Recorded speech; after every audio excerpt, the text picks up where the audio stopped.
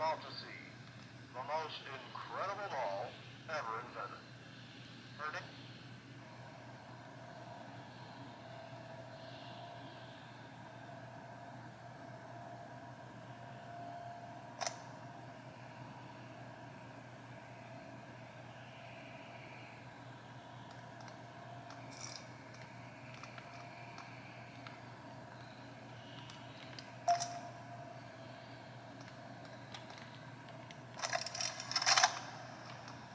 Hi, my name is Leith Pierce, and I'm the head of innovation here at the